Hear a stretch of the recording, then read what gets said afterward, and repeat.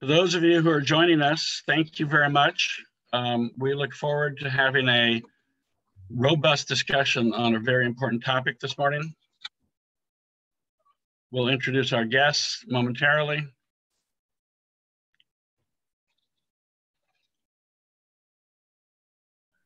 We are here to uh, today to talk about, have a discussion about um, a crucial topic for those who are concerned about climate change. And truly, that really must mean all of us um, who are residents of the planet Earth.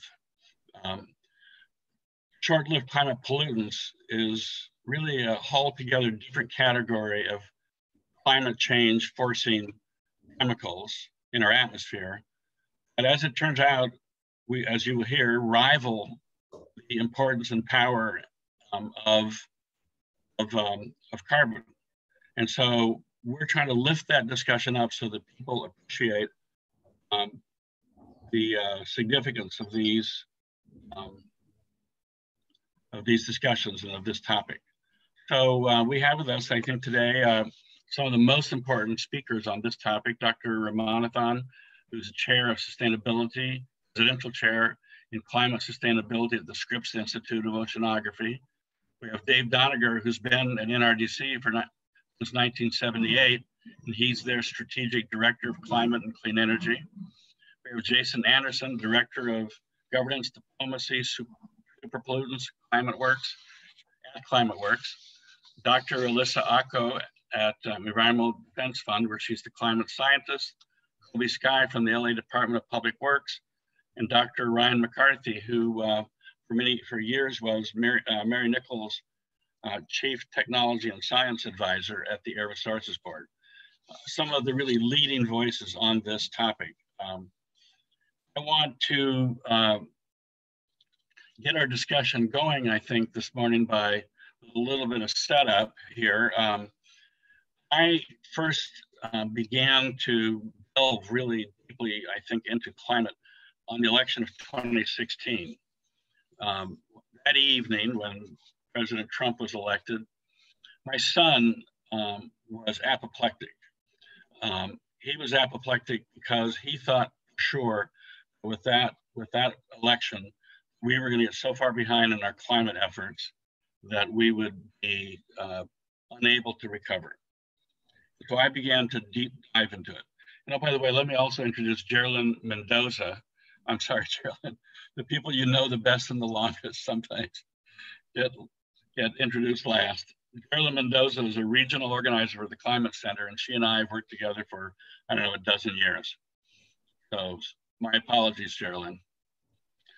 All right, so uh, in 2016, um, um, stimulated by my son's uh, worry that um, a new president might knock the effort to abate climate change off of its axis, I began to uh, into the issue myself and try to investigate ways in which I could contribute, ways in which Move LA could contribute uh, to this discussion. Um, you all should know that we are pondering with others a possible ballot measure in the state of California to raise a boatload of money, uh, probably $3 billion a year over 30 years, invest in strategies to abate climate change. And one of those very, very important strategies you'll hear about today um, it's um, the problem of short-lived climate pollutants. As I was about to tell you, I had no idea that there was even a problem of short-lived climate pollutants in 2016.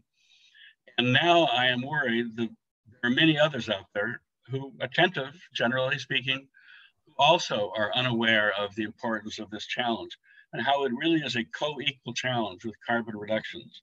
And so we were motivated to bring forward um, and introduce the speakers we have with us today because of their stature in this discussion, the leadership that they have all displayed in helping the public really um, understand fully this challenge. So we might invest our efforts and our funding uh, into reductions of short-lived climate pollutants. I'm not going to get into uh, the specifics of each pollutant. There are several. Um, I, I think our speakers will. And I want to first start by introducing to you uh, Dr. Ramanathan. Um, let's try to get Dr. Ramanathan up here on the screen. Dr. Ramanathan was one of the first, maybe the first scientist to really um, raise up the issue of short-lived climate pollutants back in 1975. Um, and there was a big article in the New York Times about it. And um, he thought then, I think uh, he'll, he'll attest, that that meant that we were going to get out in front on this issue in a timely way. I think um, that is not exactly what has happened. So Dr. Ramanathan, are you here? Yes. Hi, Dr. Ramanathan. Listen, thank you so much for your time and all the time you give um, this effort um, around the world. Um, congratulations on multiple awards for your leadership. The next time you uh, give advice to the Pope, um, please uh, say hello for all of us and tell him that we are happy to share this world with him and happy that he's um, active in the efforts to fight climate change. So, Dr. Ramanathan, um, um, I have heard super pollutants, and I'm going to pass the floor to you here soon. I have heard these super pollutants described as our biggest risk, also perhaps our biggest opportunity, our best way out of uh, climate change. That if we attend to it um, you know, in, a, in a direct and immediate fashion, we can really make a big difference on, on addressing the issue of climate in our communities. Um, so, uh, do you say in response to that characterization? Thank you. Uh, and, and first, thanks to Move LA and your institution for organizing this. Uh, can you hear me okay? Yes, we can hear you fine. All right, I'm going to share my screen and let me see if it works. oh,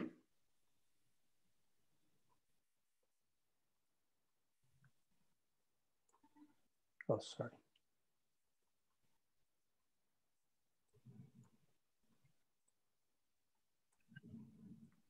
We got it, I think.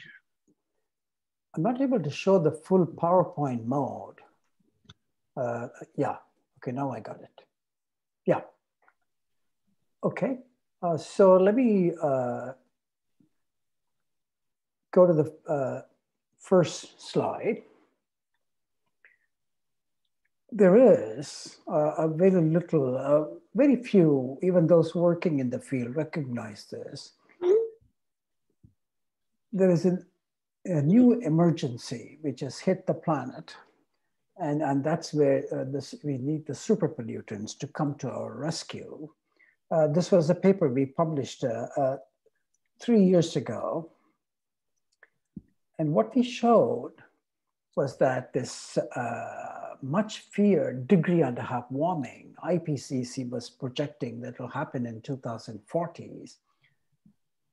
But our analysis showed that one and a half degree warming would be crossed by year 230, uh, 2030, just in nine years from now. And why is that such a big deal? I think most agree that the degree and a half is when, when we cross it, we push the planet into so-called dangerous warming. And my own uh, projection is that when we hit the one and a half degree warming, there is at least a 70% probability we'll hit it. Uh, is that COVID, uh, climate change, like COVID, will move into our living rooms uh, within 10 years. And I fully expect massive public demand for climate solutions. Uh, right now, we don't have the support we need for the sort of drastic actions. Uh, this meeting is about California. Why should Californians worry about this? And so let me touch on that so we asked the question, what levers do we have for bending the warming curve rapidly? Is there any chance we can delay that one and a half degree warming? Uh, in my work, I think many would agree with this, that the only lever we have, we don't have levers, we have only one lever, and that is the short-lived climate pollutants. Uh, there are four of them. Uh, we are targeting methane, which is uh, comes in natural gas, black carbon soot, the dark stuff you see coming out of diesel vehicles, Ozone, we don't see them, but we inhale them and it causes asthma and it's a dangerous air pollutant, but it's also a powerful greenhouse gas. Then HFCs used as refrigerants. The power behind this is that we have the technologies and we know how to cut them down. And California is one of the world leaders in this. So if we use the available technologies and all the nations in the world, hopefully California would lead this, we can cut the rate of warming by half by 2040. What does that mean? We can delay the degree and a half warming by about 50 years, push it past 2045. And, and doing that, we also improve the air California breathe and we improve our agriculture productivity tremendously by cutting down the ozone. So there are global benefits and local benefits. And this is about creating a bond issue or whatever for California. So why should California Californians care? This is a hotspot bulletin for California we released two months ago based on our two years of work. And if you just see the top four graphs on your right-hand side, you know, it's just too small for you to read. California is already warmed by three degrees Fahrenheit and what's called vapor pressure deficit, that is linked directly to fires. And that has increased by 20%. In other words, water is evaporating rapidly from our soils, from our trees, from our skin, from everything. And scientists have shown the uh, wet season in the fall has been delayed by about 27 days, and the rainfall has come down by 25% all of that has acted as a trigger point amplifier of California's fires, and that's shown in the last slide. And what it shows in the last 10 years, California, about 11 acres uh, were burning. That's almost one third of our forest area. I don't know why no one is uh, creating uh, huge notion about is a third of our forests are burning. And let's come to Southern California, that's where we are. And I'm showing here the precipitation change from uh, uh, the last 40 years. and you see Southern California in the rapid drying trend. Our rainfall has decreased tremendously and the problem is Southern California depends on water from the north, but the north is in a severe deficit. And it also depends on the Colorado River. The runoff from the Colorado River has already decreased by 20%. So it's not clear to me how we are going to deal with this water issue. This is all from one degree warming. Imagine if the warming amplifies by another 50%. I forgot to mention to you, just about three, two months ago, uh, the UN uh, announced the warming has gone from one degree to 1.2. It's already halfway up there, okay? So that's, so we have a local interest to protect ourselves from the super pollutants. I want to just uh, conclude with what are the low hanging fruits in terms of this uh, uh, short-lived climate pollutants, super pollutants, they're, they're called by multiple names. The first one, remember I said black carbon, the black carbon soot. I think we should, we can shoot for uh, a soot-free California. Basically make the diesel soot-free and convert our all our fossil fuels to electric vehicles, all the way starting from our lawnmowers. They're uh, another, you know, local source of huge soot. The second, food waste. I don't know if how many of you know, agriculture is a major source of carbon emissions, CO2 emissions. And we Americans throw 40% of the food into our garbage. At all places, at homes, restaurants, you know, companies, etc.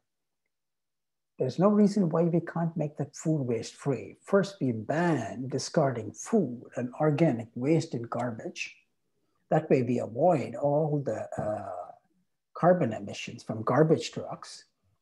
And then uh, the so-called respectable food, we serve them to, uh, uh you know, uh, uh, to communities.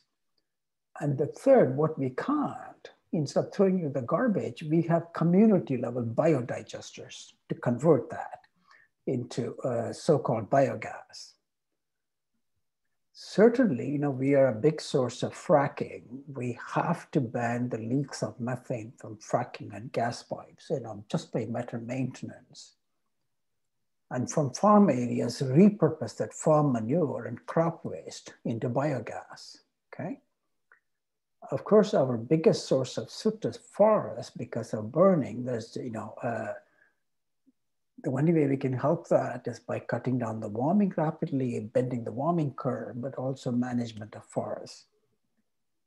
Last but not least, HFCs, a ton of HFCs leaking from your refrigerant contributes to contribute a warming equivalent to 2,000 tons of CO2 we don't have to use HFC. There are alternate refrigerant. There is also already a protocol. Uh, the Montreal Protocol has been amended by the Kigali Amendment, by you know, led by Americans during Obama administration. And so, but we have to speed up that phase out of HFC by 2030. Uh, in conclusion, uh, Denny, I, I wanted to uh, thank you and Gloria and others who have organized this. Uh, this is just the best thing uh, NGOs like you can do to bend down that warming curve. Thank you very much. Thank you, thank you very much, Dr. Ramanathan, for your leadership and your participation. I, I have a couple of questions. Um, um, so, when we think here of black carbon particulate matter, mm -hmm. um, and we think of ozone, these are two of the powerful short-lived climate pollutants, but they are also two of our most uh, consequential air pollutants that affect our health each day. Not just the warming of the climate, but especially people who live along freeways. Mm-hmm. Um, diesel technologies are a primary source of both black carbon and ozone ozone by way of the NOx that comes out of the, the diesel engines. So if we are, if we were to accelerate our strategies to move um, diesel technologies out of our lives, entirely out of our economy, and replace them with electricity where that works, perhaps with hydrogen where that works, etc. If we were able to do that on an accelerated basis, wouldn't that make a big difference uh, for both ozone and black carbon? Absolutely, uh, Derek. I mean, uh, just a fantastic question. To me, it is sad. this is something we estimated in a study three years ago. Even now, 250,000 Americans die every year from air pollution. In California, it's tens of thousands. All of that is avoidable okay? And so the first step we have to take is to make, make our transportation diesel free. And, and, and the steps you uh, laid is best and it's going to have a local effect, it's going to have a regional effect. And, uh, and, the, and, and the same thing with ozone. Ozone in, you know, in children, it causes severe uh, lung restrictions and has asthma. And uh, the other thing I want to point out in all of this is that if just California reduced its emissions, it's not going to help the slow down the global warming. We have to persuade the rest of the nation and the world. So there we develop technologies and show the world how to get rid of diesel emissions it would be a powerful message to the whole world. So, you know, we need to act as a living laboratory. So those are the things I had in my mind when I listed my five low-hanging fruits. If you saw, diesel was on the top of my list. Thank you. So, so in the measure that we are thinking about, either for 2022 or 2024, um, I think um, there would be a very significant share of the resources, maybe a, billion and a half dollars a year, could be invested in incentives for clean truck um, and off-road equipment, um, construction equipment, and marine, clean marine vessel, vessels, etc. Um, In addition, California has adopted an advanced clean truck rule um, uh, requiring manufacturers to accelerate zero emission trucks mm-hmm. in their fleets. They're about also to adopt a advanced clean fleet rule requiring larger fleets to buy these technologies. So it seems to me that if we had that trifecta of the regulations on manufacturing, regulation on major fleets, and then money for incentives and to help build infrastructure, we could really accelerate in the next decade, for example, a dramatic transformation. What do you think? Uh, I want to just uh, correct you on one aspect. I agree with okay. everything except the decade. I would like to see this done at a even five-year time scale uh-huh. because the whole world has to do this in 10, 15 years. So if we can accelerate ours and then take the technology to the rest of the nation and the world. So I would even like to put it on a faster track if possible. Well, it's that might be possible, in fact. Um, and of course, virtually every manufacturer of, of these technologies markets their technologies in California. Yep. Uh, what we do as a result of being the fifth largest economy, tell me if you think I'm wrong, can really have an outsized effect of making this possible to accelerate worldwide. Absolutely. Absolutely. And that's really why we're here today, is mm-hmm. to is to help light a fire. Um, we want to share this program with legislative leaders and foundation leaders and community leaders all over so that they will get it as well. And so I want to thank you for your leadership and your participation. Thank you, Derek. And I know you got dozens of things to do today. So thank you very much. Yeah. Bye. Okay, so uh, we're going to move now to uh, David Doniger. Um, and uh, David, uh, actually, he doesn't know this, but I've been a fan of his for quite a long time. Uh, his work at NRDC. I worked with NRDC in the early 90s when I was the director of the Coalition for Clean Air. NRDC and um, then the Coalition for Clean Air collaborated to create a California Truck Working Group, led to the creation of the Carl Moyer program. Now, Jason, Carl Moyer program, working on that is where I met your former boss, Charlotte Pera. We worked together on this. So this is a, um, you know, a really, I think, a, a growing up of leaders that we're seeing before us uh, in their leadership role. And Dave, um, thank you very much for all your leadership. And you're especially well known and regarded for your le leadership internationally, um, helping to reduce HFCs.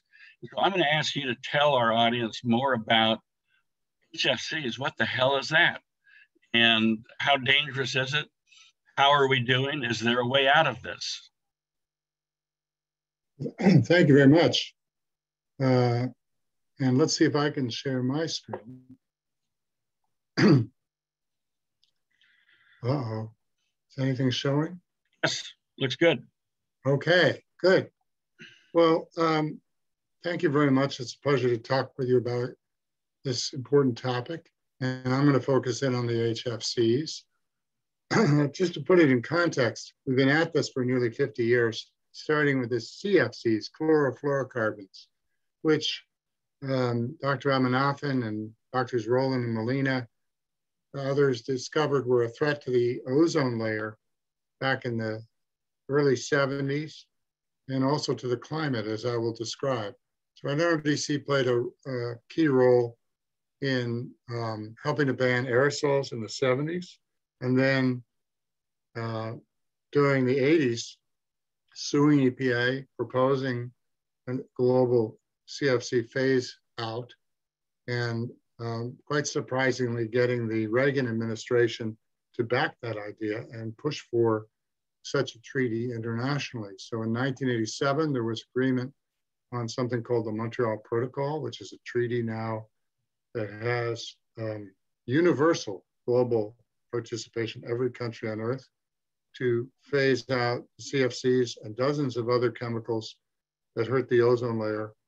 Uh, as you can, as I will explain, it also has major climate benefits and implications Um, and we also worked to get national legislation, the CFC phase out, uh, adopted in the 1990 Clean Air Act amendment.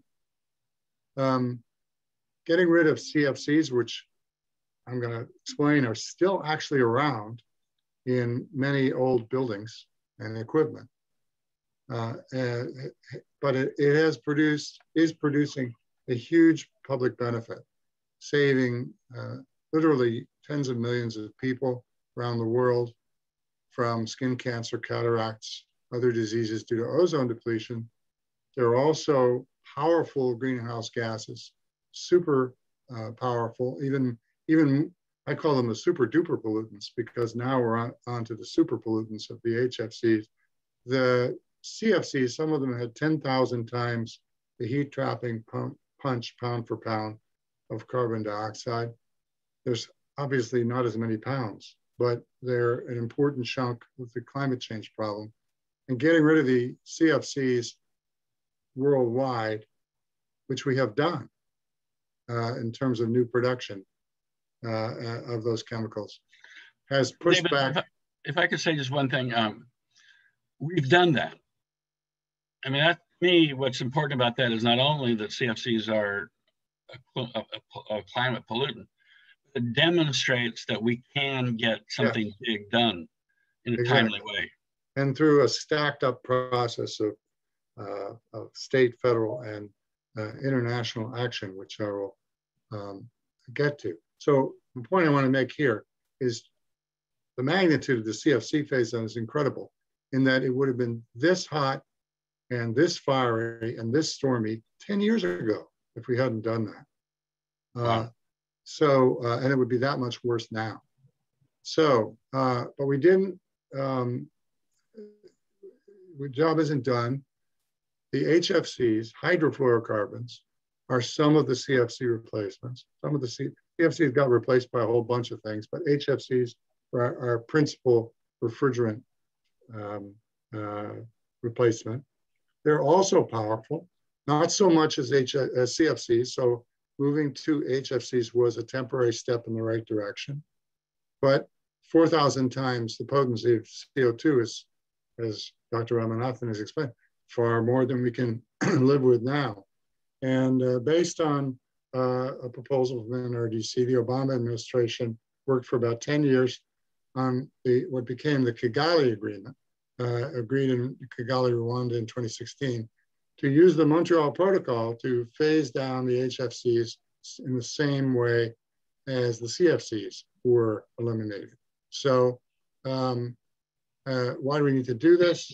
It's been projected that if we didn't do it, if the HFCs grew the way they were headed, we'd have another half degree centigrade of warming, which pretty much, you know, eliminated any, would eliminate any possibility of meeting the Paris objective of holding total warming under one and a half degrees. They have to do this. And um, the, uh, uh, here in the United States, um, uh, uh, we worked with an industry coalition to get enacted bipartisan legislation at the end of last year um, in the big omnibus bill, the American Innovation and Manufacturing Act, which was its title in order to disguise its purpose for uh, uh, the benefit of Republicans, was adopted on a bipartisan basis. It calls for a global phase down of the uh, HFCs on roughly this time uh, time scale. There's slightly different time frames for developed and developing countries. Um, uh, it, it, it, it, so the bill enacts that reduction schedule in the US.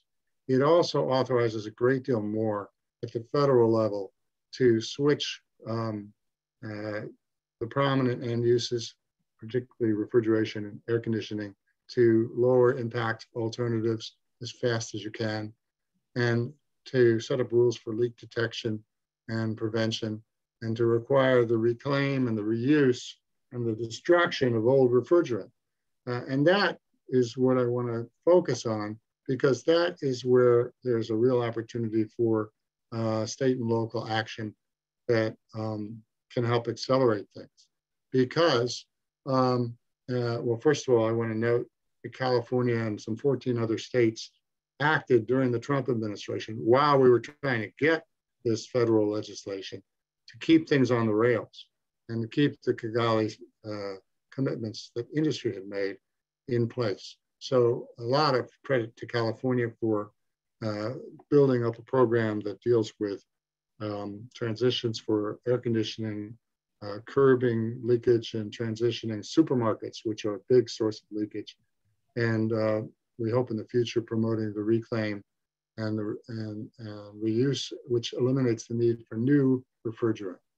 So there's still a lot to do. And, and this is where I, I want to focus the rest of my talks. There's thousands of tons of refrigerant in equipment, in buildings, and to some extent in vehicles, uh, of, of, air conditioning and refrigeration equipment that has not only HFCs in it, but even CFCs still. Uh, and the, the, this material eventually leaks out. In the case of supermarkets, they can lose a 10% to a quarter of their refrigerant every year because they're in, inherently leaky systems. And we really need to tighten that up and get those off of HFCs as soon as possible. In the case of uh, buildings, um, I want to give you this case study that um, was performed in Chicago by a, a, architecture and engineering firm called ESD Global.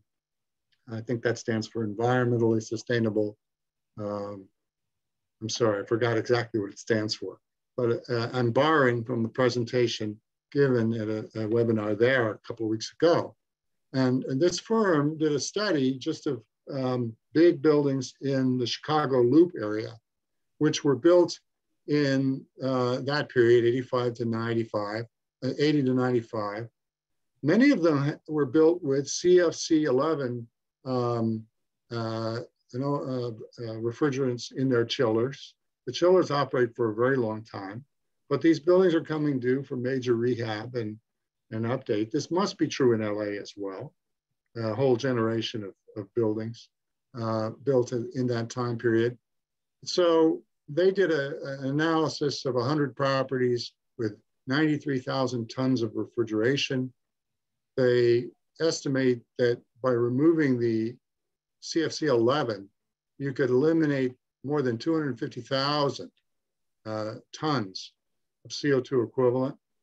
You replace it with not 54,000, uh, you replace it with 54 metric tons, not, not 108,000, 108 metric tons of CO2 equivalent from the new refrigerant.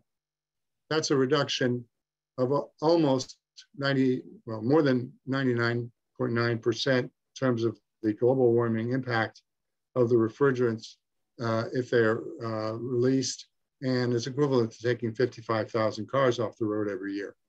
So this is an example. Now this can be done uh, with the benefit of incentives for energy efficiency that uh, I, I, know exist through the utilities and under uh, the California I'm not as familiar with California rules as I might be, but I, I know that these kinds of incentives exist, and maybe there's room for additional incentives, specifically targeted at the refrigerants. Um, but there's a huge opportunity for uh, avoiding these refrigerants ever getting into the atmosphere, reusing them or destroying them, and um, also getting energy efficiency upgrades uh, into the bargain. So uh, that's what I really wanted to lay out there as a, a, I would love to see similar kinds of analysis of the building stock in LA or San Francisco and other places in California.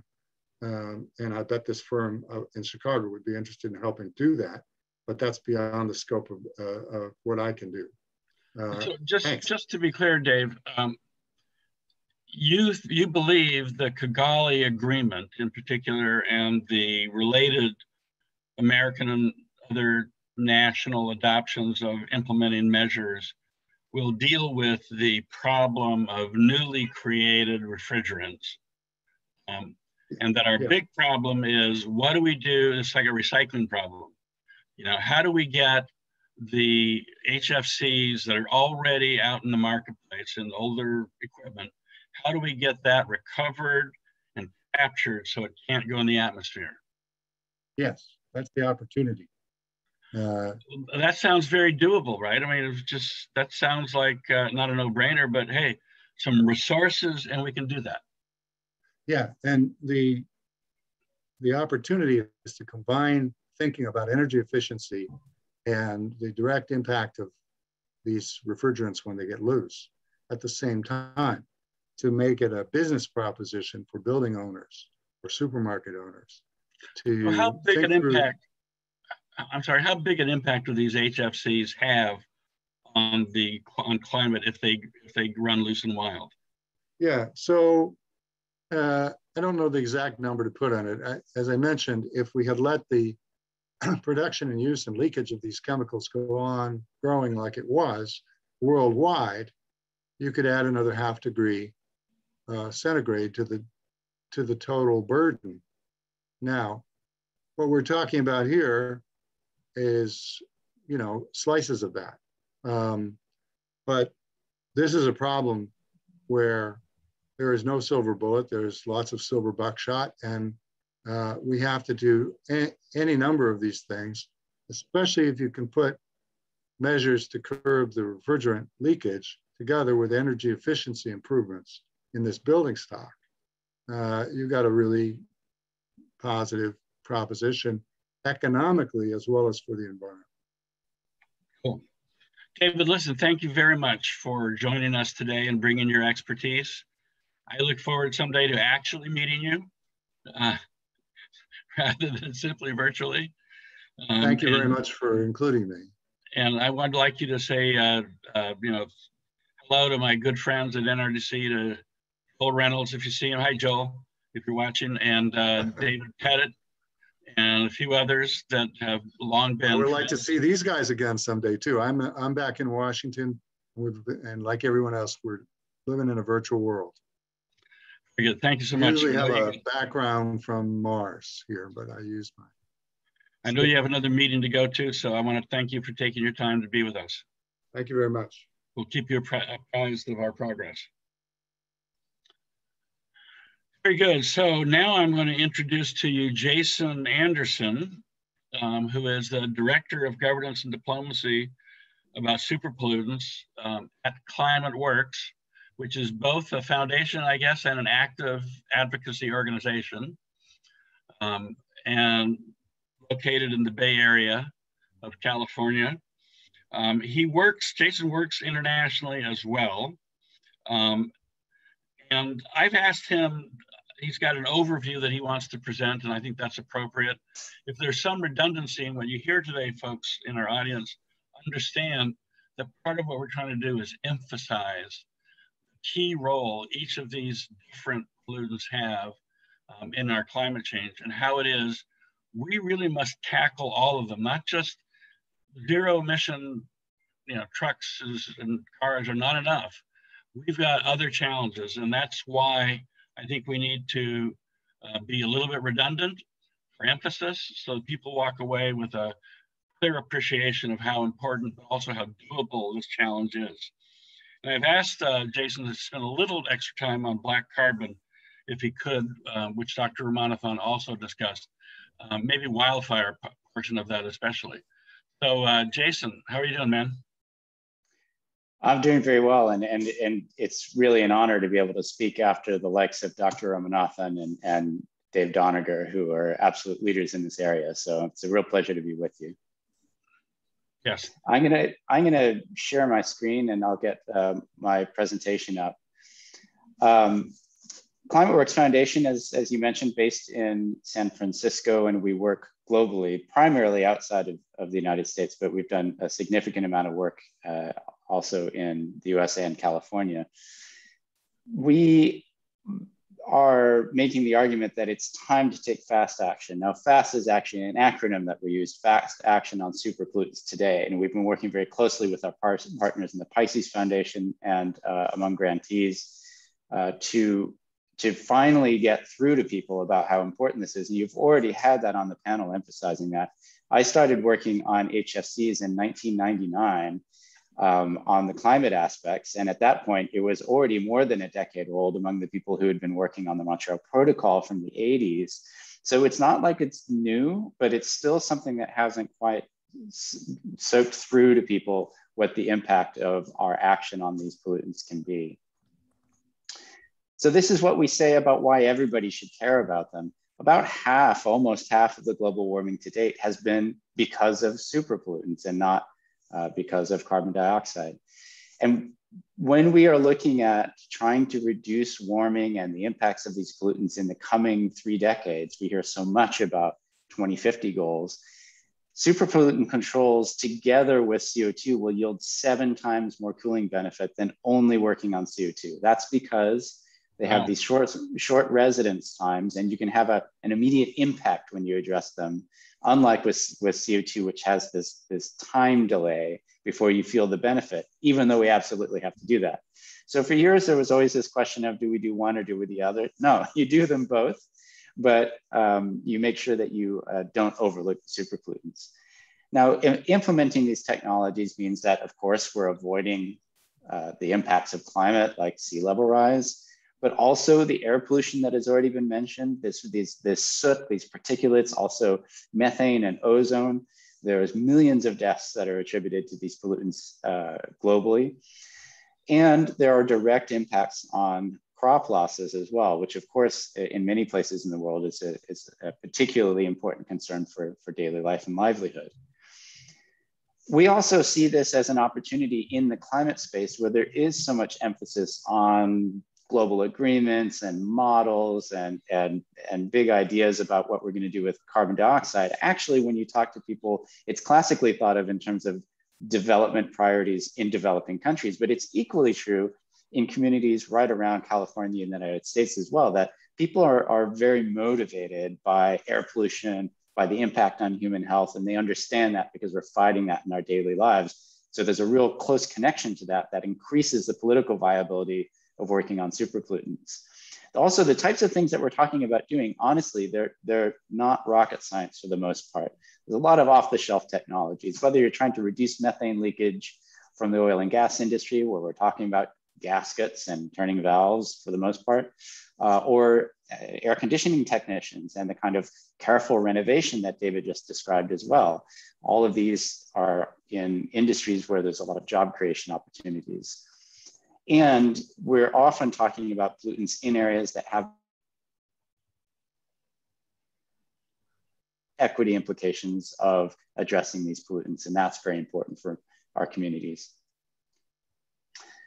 This is a, a graphic that I like to show because I was able, uh, unfortunately, but very handily to make the analogy to COVID last year, which is that we need to flatten the curve on super pollutants which is to say that uh, one of the one of the uh, characteristics of our community, broadly speaking, people who work on on climate change, is that we'll often have these long-term models with these very nicely cur curved graphics that yield some kind of climate stabilization in the, in the second half of the century or net zero by 2050. But if we're always talking about endpoints, we're not talking about what's happening along the way. And you can see that the red curve and the green curve roughly end up in the same place with respect to temperature rise. But with the red curve, you're not addressing superpollutants early, you're waiting until later. And the implication of that is that you have more warming, you have more air pollution, and you have millions of lives lost due to that delay. So this is a direct analogy to what we were, what was on everybody's lips last year. We need to address now, flatten that curve, slow that growth down, and save lives. The other thing that we often hear from our community is, well, we're, we're going to a fully renewable, fully electrified world. Um, so, you know, why are you talking about these interim steps? The fact of the matter is, is yes, we need to fully transition to electric vehicles and as many modes of transport as we can. But along the way, we are going to have people dying from diesel pollution. So we need to filter it. And we also need to phase it out in steps everywhere we can across the board.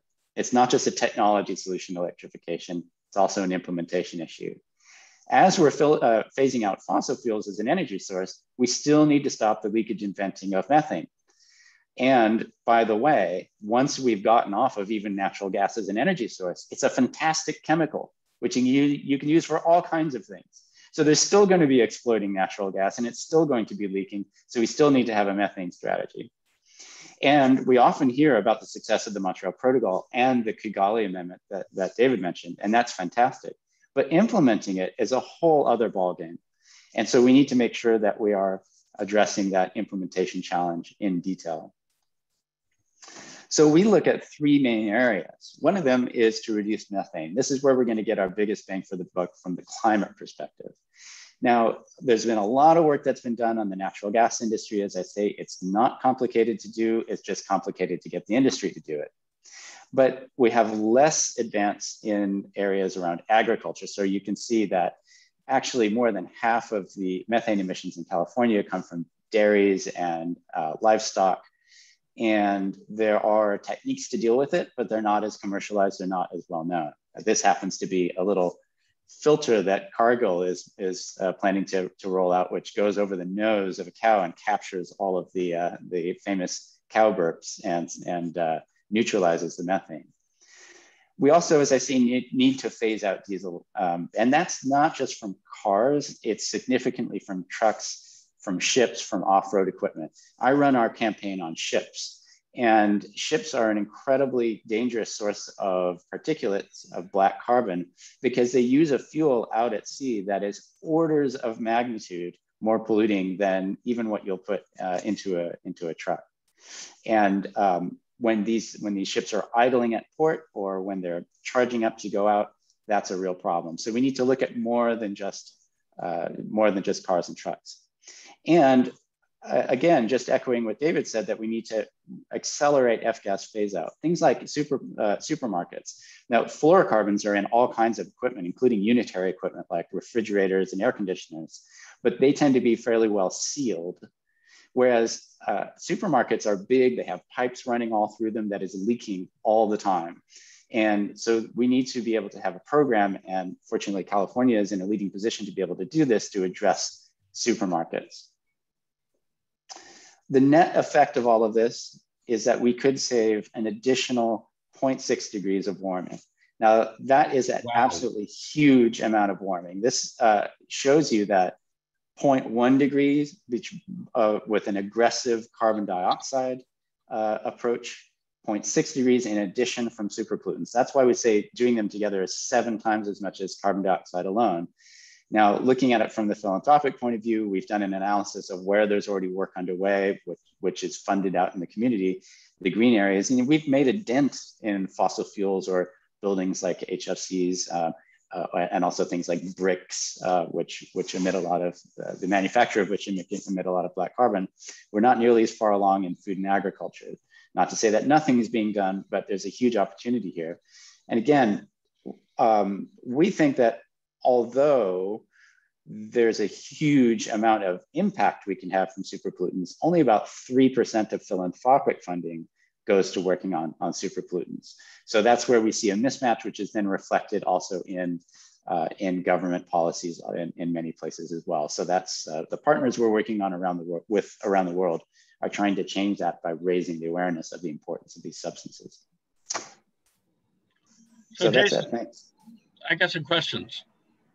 I'm Go particularly interested in this interim uh, challenge that you mentioned. Um, uh, it looks like we heard earlier from Dr. Ramanathan that um, with respect to black carbon, you know, diesel trucks were a big, big part of the problem, and that we want to accelerate uh, the end of diesel technologies being used in our communities because they're strong pollutants, but now we know they're big climate producers. All right. So, um, but uh, one of the big challenges there is the long haul trucking sector. And we know in California that those long haul trucks might be about one eighth of all the trucks, that they're about half of our air pollution. They are oversized in their impact on, on uh, NOx, ozone, and particulate matter in California. So along comes the strategy for electric trucks. Most people think, and I certainly agree, that we can electrify the trucking industry in the basin in California, where trucks that operate locally um, can easily go back and get charged overnight and so on. What do we do about the long haul trucking problem? Can we expect that battery technology is going to really be competitive with diesel technology operationally um, and you know simply replace diesel all that diesel there or do we also need to have strategies for things like hydrogen and maybe RNG, renewable natural gas from landfills, etc.? What do you think about that, especially during that 10 year period? There's a gradient, but um, the the thing about batteries is that they have progressed so much more quickly than anybody expected. When when we talked about it was, it was just not even on the radar that we would be having heavy trucks able to be electrified. And our position is that we need to aim for electrification of these trucks, including long haul trucks, because we think we can get there. The pace at which the cost is going down, the energy density and, and, and availability is going up uh, for trucks. Uh, work done here in, in California, Lawrence Berkeley Lab, for example, is just showing that um, we should not underestimate how quickly we can move on, uh, on electrification. The, the problem with something like um, any alternatives that uh, require extensive infrastructure that slows down that change. It's not easy to go to something like hydrogen or renewable natural gas. Also, it allows the opportunity for something like natural gas, where the industry is extremely adept at making their bridge to the future being an, an endless bridge, essentially. Um, the only caveats to this are that, for example, deep sea ships uh, need a kind of uh, fuel. They, they, you can't electrify a ship that has uh, a month's autonomy in this in the seas, at least for now. Um, so, and there can be cases in which off-road equipment with certain duty cycles might want to use hydrogen with with fuel cells, for example.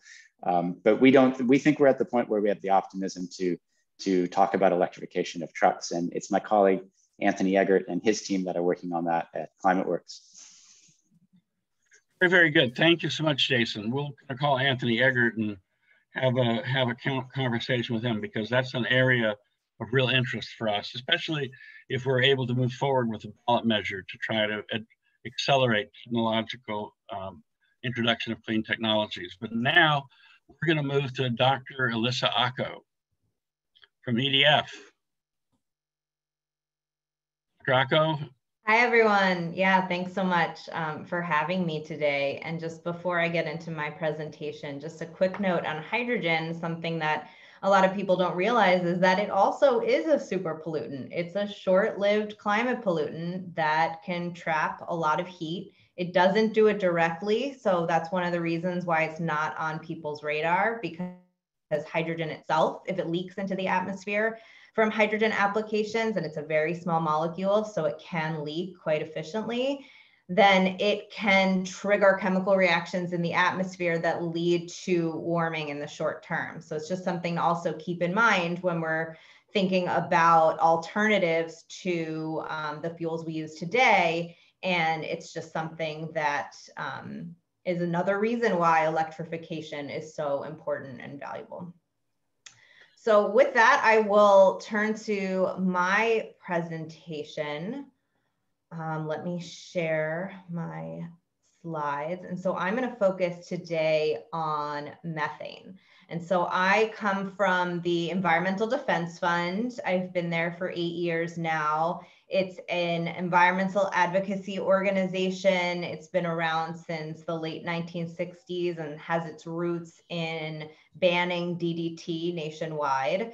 And so EDF, like many of my colleagues who have already presented, is very actively engaged in the climate space and trying to find promising solutions to slow down warming now, in addition to preventing long term warming in the future. And so we focus primarily on methane, specifically from oil and gas infrastructure. Um, but I just want to note that I did my PhD on black carbon and I've attended the Montreal Protocol meeting in the past to advocate for phasing out HFCs. So I'm, I'm generally in this short lived climate pollutant world. And so I'm going to take a step back for a second and just re-emphasize some points that have already been made in the sense that many people don't realize that CO2 emissions are really only half of the climate change problem that we're, we're dealing with right now. Um, almost the other half is from short lived climate pollutants, and methane dominates the contribution from the short lived climate pollutants. It accounts for around a quarter of the warming that we're experiencing today, both from it being a greenhouse gas directly, but also because it indirectly warms the climate by producing tropospheric ozone and stratospheric water vapor. Um, and so the main concern with CO2 and why we focus so much on it is because it builds up over time. So this amount of warming that we're experiencing today from CO2 is the result of 100 plus years of emitting CO2 into the atmosphere and it building up. On the other hand, the short lived climate pollutants, the warming that we're experiencing today, which is around half the warming from the short lived climate pollutants, is from emissions of these short lived climate forcers over the past couple decades at most. And for black carbon, for example, it's just emissions from the past few weeks. So they're really powerful in terms of how efficient they are at trapping energy in the climate system when they haven't even been around for that long and they don't even last that long. And so if we want to stabilize our climate, we do have to get net emissions of CO2 down to zero so that they stop building up over time. And that's really important. But in the short term, the short-lived climate pollutants will really contribute more to warming than the CO2 emissions that we emit um, so an example of this is that when we look at all of today's emissions of methane from human activities, they'll have more of a warming impact over the next 10 years than all of our emissions of CO2 from fossil fuels right now. So that's a lot of warming that's just coming from methane that people don't realize when we focus so much on CO2. So CO2 really is this long-term challenge that we need to bring down, but pollutants like methane are really the key to slowing down warming now. And so this is because pollutants like methane are so powerful at trapping heat. So for example, even though we emit 100 times more CO2 from fossil fuels than we do methane every day, each pound of methane that we emit can warm the climate over 100 times more than the CO2 over the following 10 years. So that's why it contributes so much to warming. So what this means is that we really have a powerful opportunity to slow down the rate of warming in the coming decades because these pollutants contribute a lot to warming right now, but they're gone so quickly, which means that they're no longer actively trapping additional heat. So for methane, which already contributes to around a quarter of today's warming and emissions are projected to double by the end of the century, we have a real opportunity to slow down warming right now. And this is at a scale that CO2 emissions reductions on their own can't do, which you've heard from my colleagues so far. So here's another way to visualize the impact. So the orange curve here is no action on any climate pollutants. The yellow curve here is our current NDCs, so not the revised ones that we expect to, um, to to come to an agreement on the end of this calendar year. And then the blue curve is net zero CO2 emissions by 2050, which is really important to stabilizing the climate in the long term. But you see here, if you don't act on the short lived climate pollutants, we're still going to exceed the two degrees of warming that we don't want to exceed. And so when we account for all the other greenhouse gases as well, and we get to net zero greenhouse gases by 2050, we can really bring this curve down. And especially if we act fast to reduce methane emissions. And we can start slowing down the rate of warming in the near term, in addition to just what's going to happen in the long term. And so this does not, this figure does not include black carbon emissions reductions, which would bring this warming curve down even more. But if we delay action on methane, for example, then we could still achieve our net zero by 2050 goals, but we have a completely different climate outcome over the next few decades. So, and this is, you know, similar to what my colleagues just showed. There's all these damages that we could avoid in the near term by acting now immediately to address short-lived climate pollutants. And so that's why we don't want to delay action or move too slowly. So just quickly looking at where the sources of methane are coming from globally, and it obviously is different for every region. For example, in California, livestock makes up at least half of all of methane emissions. But globally, agriculture accounts for a little bit more than a third of methane emissions. Energy use from fossil fuels accounts for around a third, and then waste management accounts for around 20% of emissions. And this is projected for 2030, but it's a very similar breakdown when you look at 2020. Um, Ilissa, and so, Ilissa yes, if I could, um, sure. Um, we go back over those share portions so that we're clear about what share is in California and what share is global? Sure. So this this figure that I'm showing right now is global. If we were to look at this for California, livestock would be half of the entire bar. And there's a couple different sources for green for methane emissions in California, but they're around 50 to 60% of California's methane emissions are coming from livestock. The second largest contribution to California's methane emissions is landfills. Globally, it's oil and gas, but in California, it's landfills at around, I think, maybe 30% and then um, around 20, 10 to 20%, depending on the source, is from oil and gas. Okay, thanks. Sure. So we have technologies globally and available to reduce these emissions considerably in each of the major sectors. And we think that we could reduce emissions by in half within the next 10 years based on all the existing strategies. And this does not include, for example, changing our behaviors of what we eat. For example, these are reductions that come from agriculture from just changing our production methods and changing you know, different systems that already exist, but don't consider, for example, changing what we eat. If we were to change what we eat and drive down our, our meat intake, for example, we could see even more reductions. And so um, I'll just quickly go through some of the main solutions for each one of these buckets.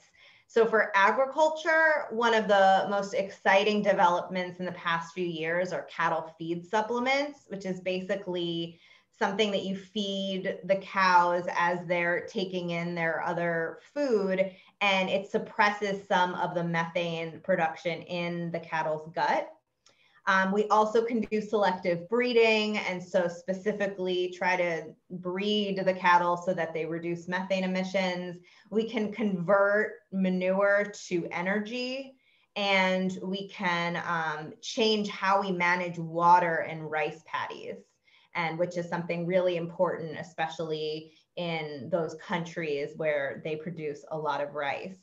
And from the energy sector, leak detection and repair is really a main strategy to reduce emissions from the oil and gas supply chain. A lot of the leaks are coming from upstream production. It's leaked out when we're trying to extract the fossil fuels from underground. And so a big challenge is just identifying the leaks, but then once you identify the leaks, it can be very straightforward to reduce them. So then we also can reduce venting and flaring, which can be unnecessary, but back in the day when these systems were first created, we weren't thinking about the impacts on the climate. We can seal wells, we can flood um, coal mines. And of course, if we were to decarbonize society, that also would drive down methane from fossil fuel sources. And so finally, because I know the next speaker is gonna go into waste, I'll just say very quickly that we also have uh, strategies to reduce emissions from landfills and wastewater. We can use it as an energy source. We can also do better at what, what waste ends up in the landfills. And then finally, just echoing the last speaker, there are so many different benefits beyond slowed warming to reducing methane emissions. We can have job creation. And because methane is a producer of tropospheric ozone, which has air quality effects, we can save thousands of lives globally and millions of tons of crops by just having improved air quality. So I will stop there and thank you all so much for your attention. So um, I, I, have a I have a question um, about uh, the um, reduction of. Let me. I'm sorry. Me, I'm looking at my notes to try to find this question. I was really interested in on the methane side. Um, generating this methane in our landfills and our wastewater treatment. A lot of that, and I know Coby was going to get into this in more detail a lot of that is already there. I mean, so if we do things like uh, divert organic waste from the landfills, which we really should do in the future, and we have this um, this um, already generated methane in these in these landfills, um, don't we have to capture it in some ways? Um, can we prevent it from becoming fugitive methane? Or do we have to capture it and use it? Yeah, so there are in the US in particular, there's a lot of infrastructure already developed to basically suck landfill gases out by sort of this vacuum. And then there are different pipes that can divert the gases to facilities that can then turn it into a usable product for energy purposes. So yes, I mean, we we do need to do something with it or you know otherwise we're going to have to store it. We want to prevent it from getting into the atmosphere. Um, in the us i think we could we can be and, I, and i'm interested to hear what my the next um, speaker will say about this but i do think we can be more efficient with our gas capture from landfills because a lot of times i think we are um, capturing more of the gases after we've closed a landfill and a lot of the gases escape while the landfill is still open. And so I think there are opportunities to collect more from the landfills in the US, but certainly globally, there's a lot of opportunities just to install this infrastructure in places where it doesn't exist at all. And so that can really drive down emissions. You can, you, you asked me about landfills, but I'll also talk a little bit about manure if you just cover a manure lagoon, it actually does prevent some of the gas from ever even escaping out of the manure because there's limited airspace between the manure and the cover. So the way the thermodynamics works is that it prevents some of the gas from even being produced and emitted. And so at a minimum, that's something you could do. But then yes, if you were to connect that to a digester and feed that manure into this basically tank that breaks down the manure and turns it into a usable energy product that's you know more efficient and can really drive down emissions. All right, so I have two questions that arise here, and I hope Coby is patient. Okay, Coby. Um, one is California adopted SB 1383, um, to create um, obligations um, on the part of state itself and perhaps others to reduce their methane, reduce all of the short-lived climate pollutants. Um, how are we doing with implementing 1383? Are we making the kind of progress it envisions? So I I am from Washington D.C. I oh, don't I focus on California policy. So I'm sure some of my other colleagues on this call who are from the California area could better answer that question. I, I really can't. That's just not something that I focus on in my day to day. Okay, so Coby is probably forced to deal with it, so we'll ask him how, how, how, that, how that's going. Listen, I want to thank you so much for joining us, um, contributing to this discussion, helping to lift up the problem of short-lived climate pollutants. I love that when increasingly, I think people should be getting the picture that uh, zero carbon ain't enough, right? We got to go Definitely. beyond zero, and we got to deal with short-lived climate pollutants on a co-equal basis. if we're going to uh, get to where we need to go. Thank you very much. Definitely. Thank you.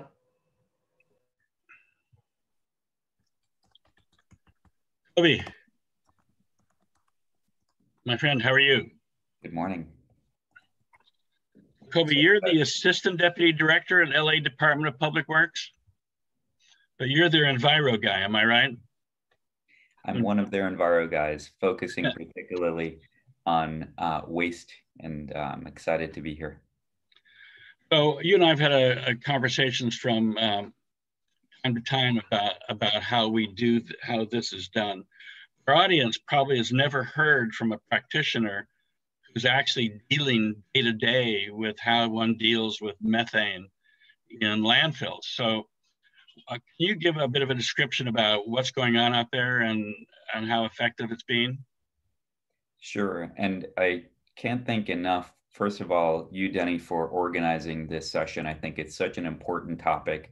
And also all of the previous presenters that have covered a lot of the um, background that I think really makes my presentation more focused, um, particularly about why methane is so important to capture and um, put into productive use, and also the importance of flattening that climate curve by addressing these super pollutants.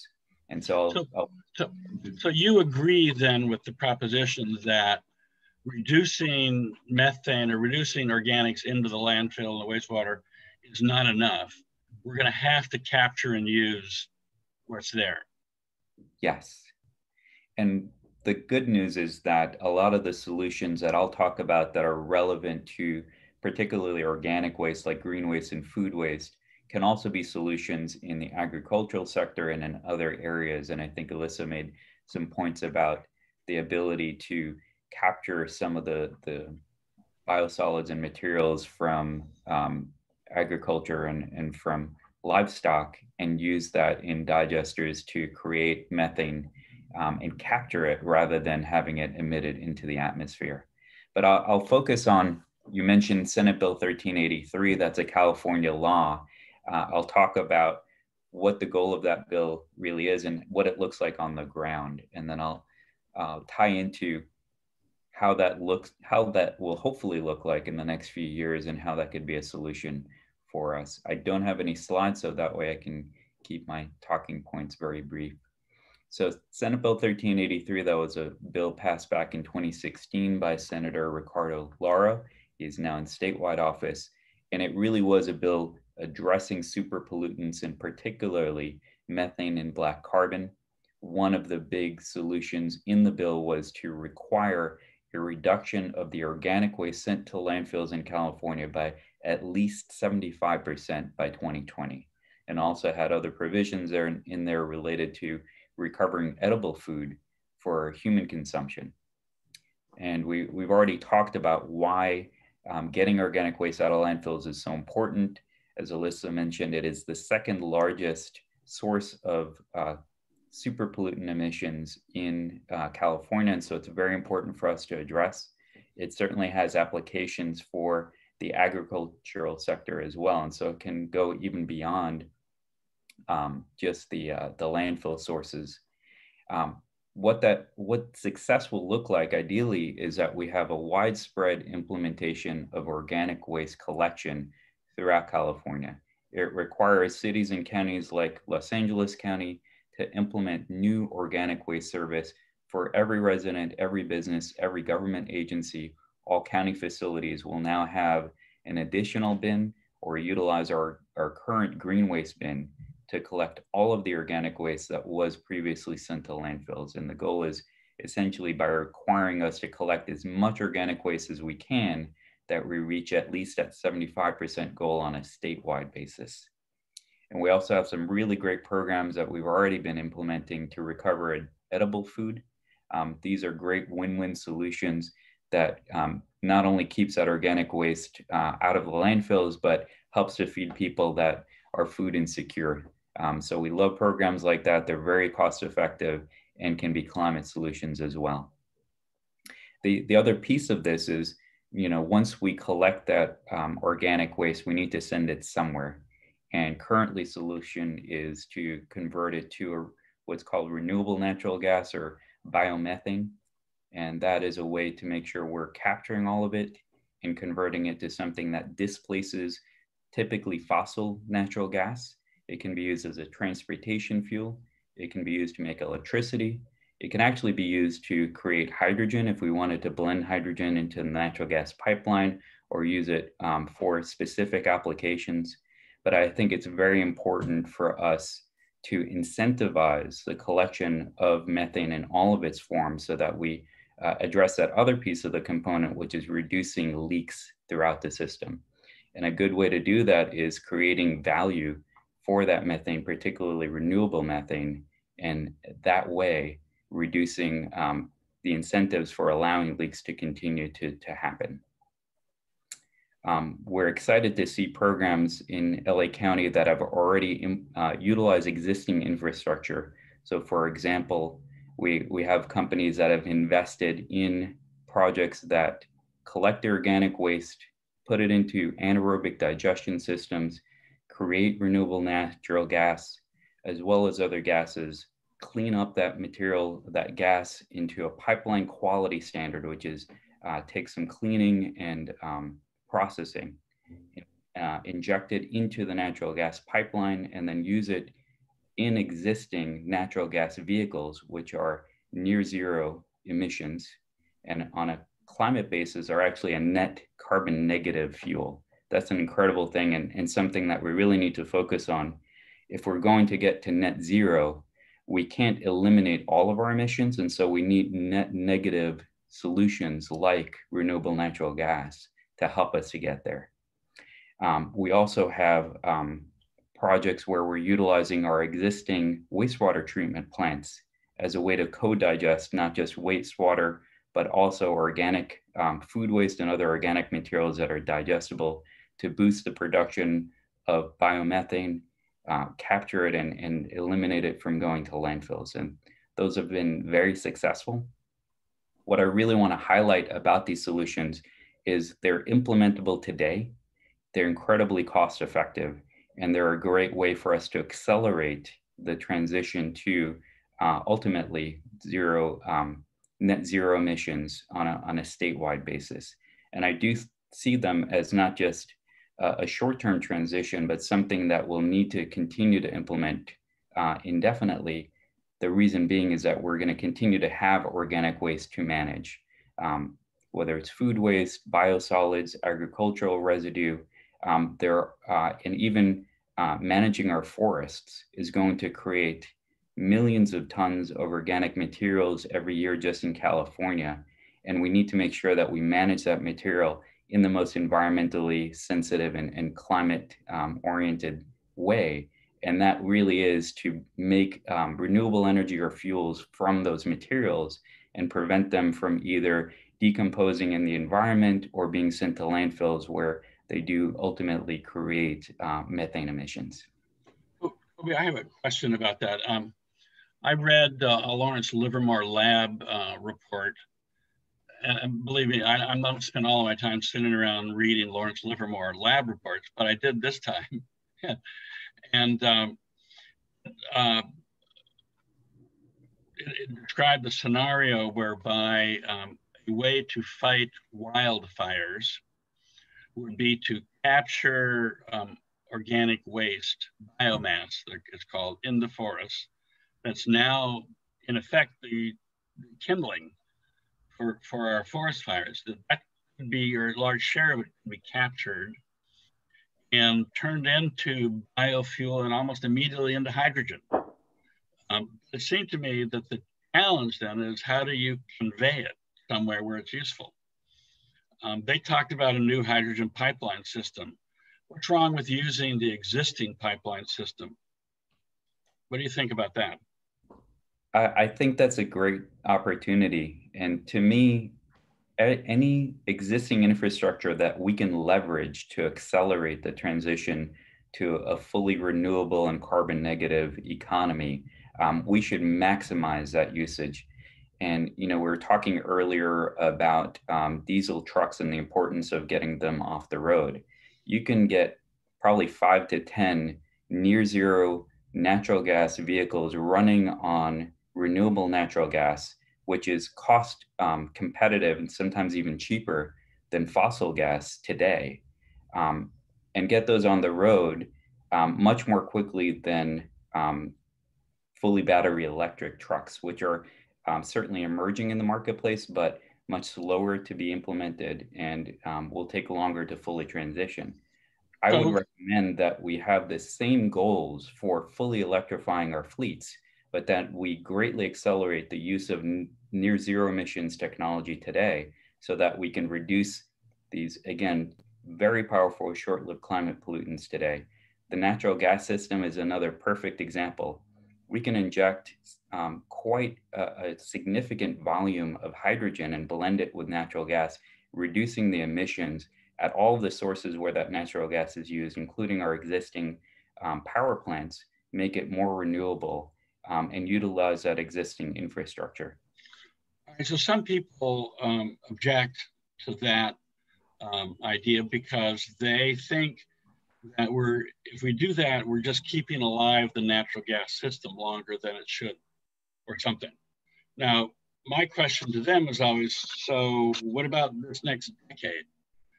Um, we're, we're told by the IPCC that this is a crucial decade. Um, I think we'd be ready to see a lot of money invested in accelerated deployment of, of battery electric everything, including trucks. Um, the question of how rapidly that can happen is an unanswered question. Uh, how, you got to ramp up the manufacturing, you got to spread the infrastructure, etc. Why is it that um, people, some people resist the idea of near zero RNG? It seems to be related to this concern about well, you're facility, you're you're prolonging use of natural gas pipeline system. What do you say to that concern? I, I think it's important to acknowledge the concern about perpetuating legacy systems, but I do think it's a false dichotomy. In the same way that we have these arguments about the economy versus the environment, we need to do both. And to me, it's a question of what do we do in the short term and how do we continue to mandate a truly zero emission carbon uh, uh, either carbon neutral or carbon negative future. And I think we can do the same things together. The two actually complement each other. If we were to transition the natural gas system to use a, a mandatory percentage of renewable gas at 20% renewable gas, the entire natural gas system could be carbon neutral.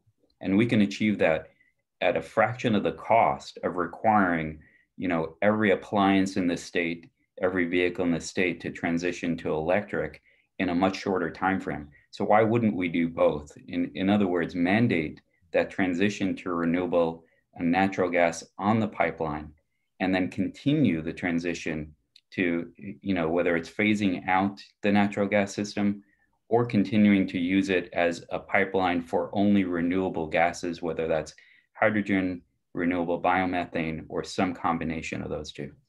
All right, so Coby, you're a lucky guy. I'm going to give you authority over a billion dollars a year to invest in reducing short-lived climate pollutants.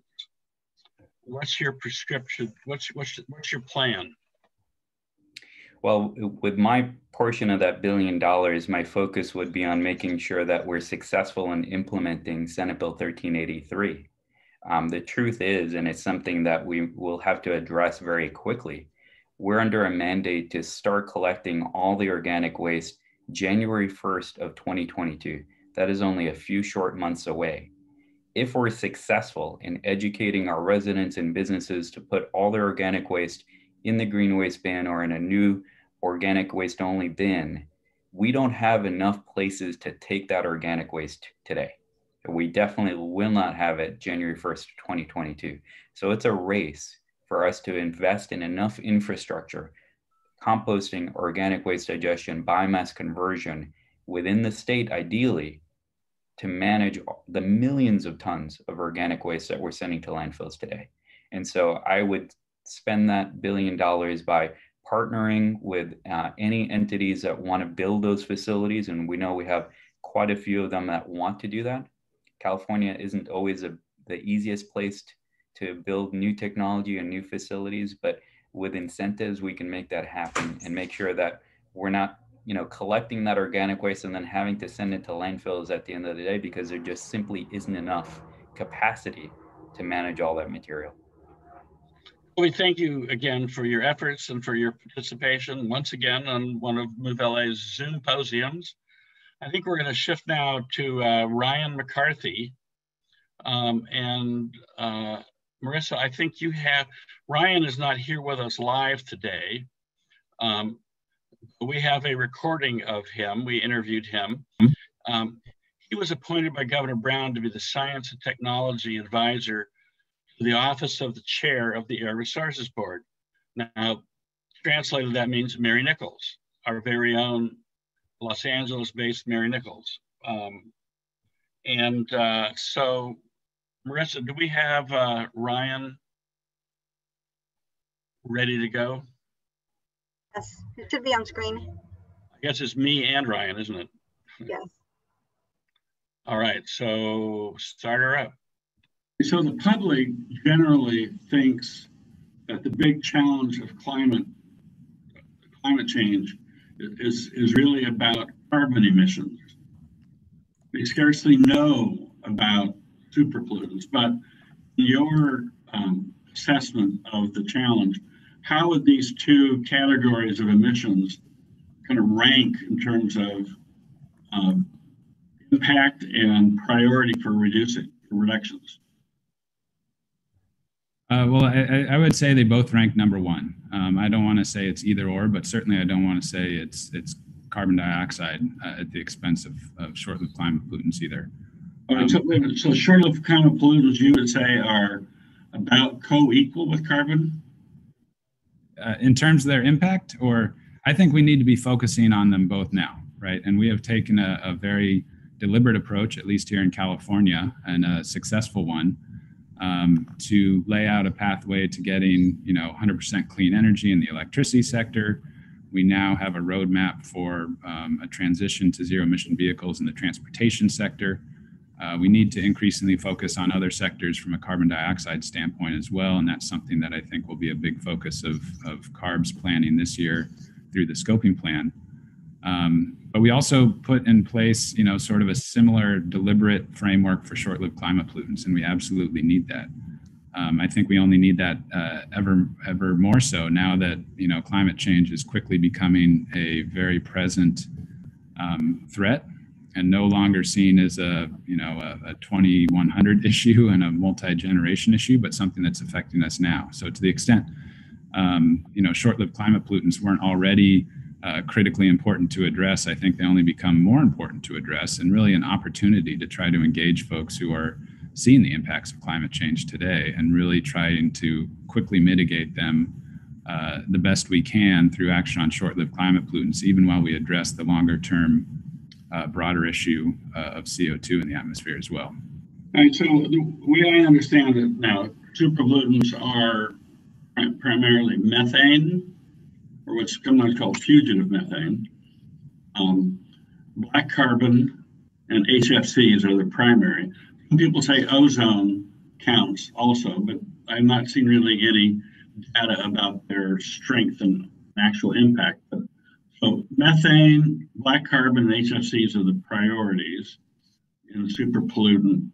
And why are they called super pollutant? Uh, well, they're they're called super pollutants because um, they have a very potent, outsized impact on um, global warming in the near term, uh, and they also have important um, impacts on on air pollution. So black carbon is a great example. It's a, a component of particulate matter, which is a carcinogenic uh, pollutant that costs millions of lives uh, globally every year. It sounds like diesel. I've heard that connected to diesel, right? It's diesel. Um, it's it's burning really. Um, uh, burning of anything, whether it's you know biomass or diesel, but diesel has that that dark black soot and a really high component of of black carbon as part of sort of the soup of pollution that is particulate matter. So methane, tell us quick, briefly about what's the problem with methane?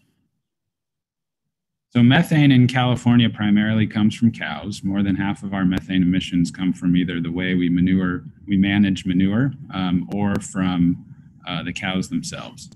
But other important sources of methane emissions are landfills um, and uh, leaks from you know oil and gas operations, from natural gas pipelines, um, uh, and really from anywhere where natural gas is used. Uh, the state has put in place a pretty deliberate framework to address each of these sectors and each of these sources of emissions.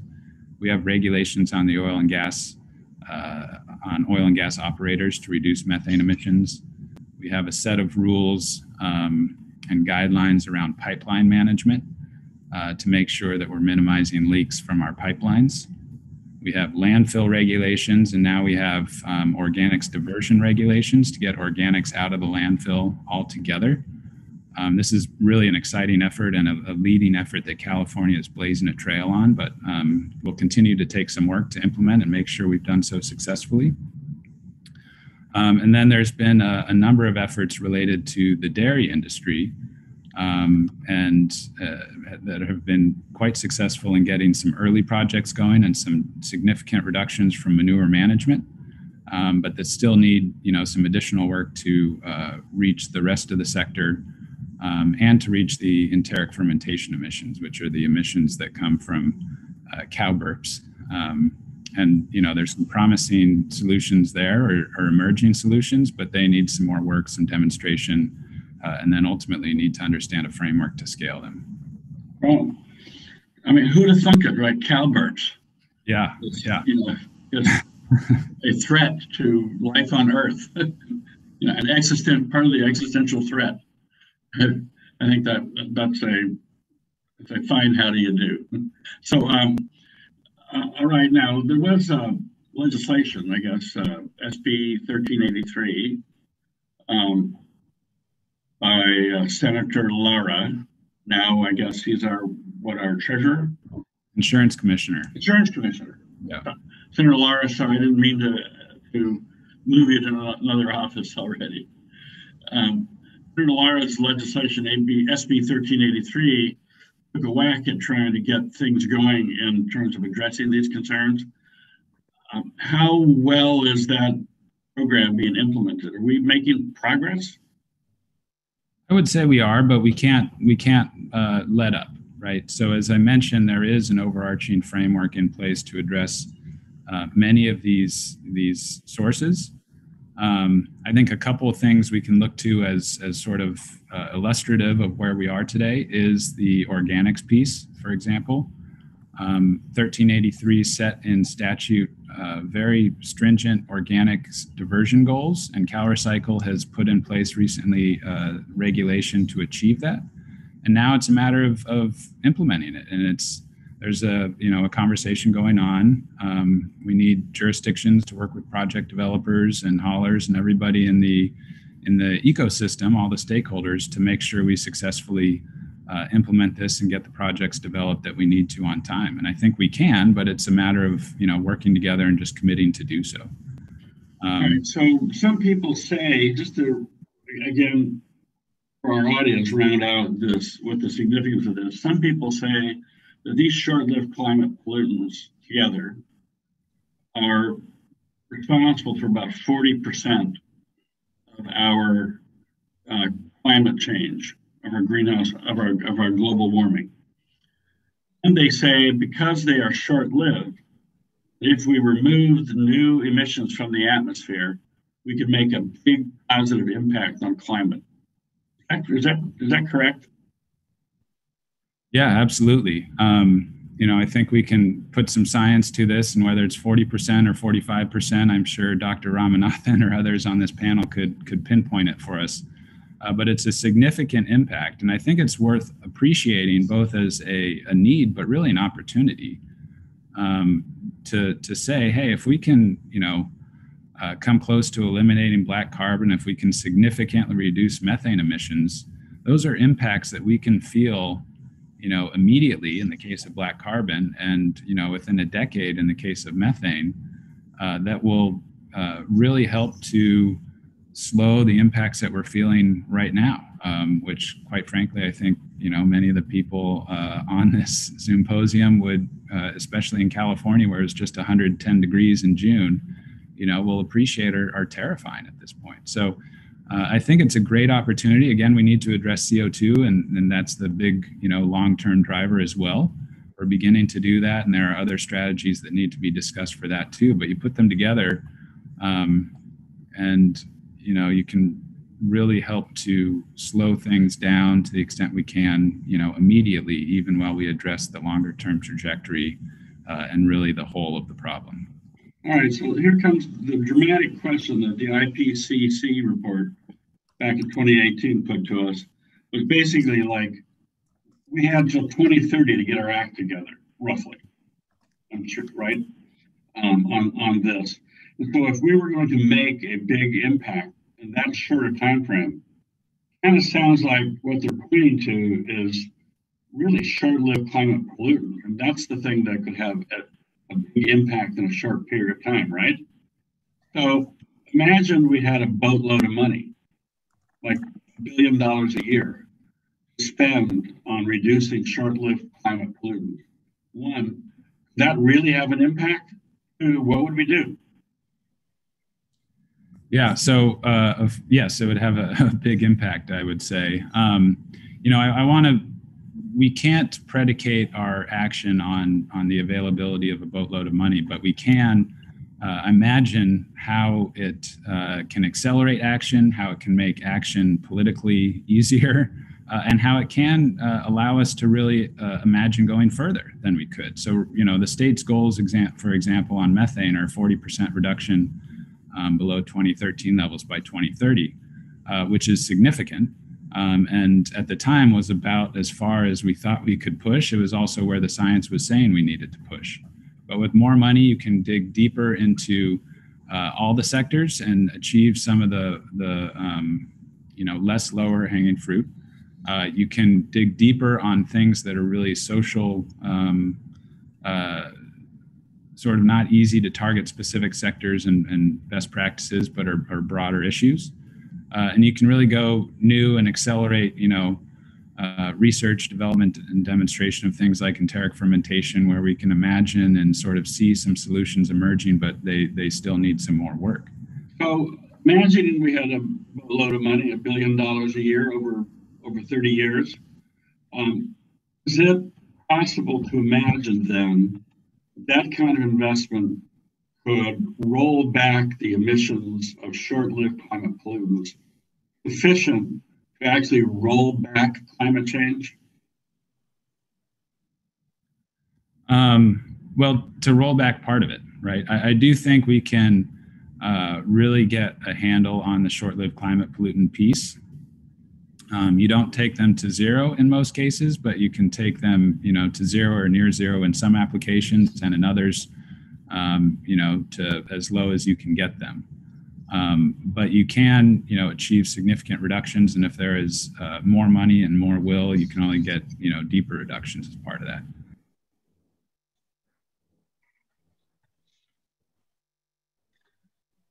Thank you very much, Ryan McCarthy. I hope you had a chance to look in. And uh, so, Jerilyn. Hey, Coby, how are you? We're going to move the discussion to Jerilyn Lopez Mendoza of the Climate Center in Santa Rosa, although you're the LA person, right? That's correct. All right, so takeaways. You've heard, we've heard this.